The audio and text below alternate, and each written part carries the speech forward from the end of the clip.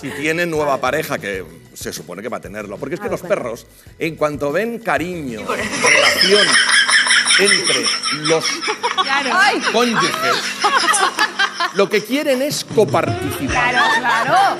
Oye, y se lo Pero coparticipar activamente, porque si atendemos al movimiento de rabo, es que se lo está pasando bien. Yo te digo que estas cosas pueden pasar. Pueden pasar. Pueden pasar a un 99,9%. Ha dicho, no hay dos sin tres, hueco.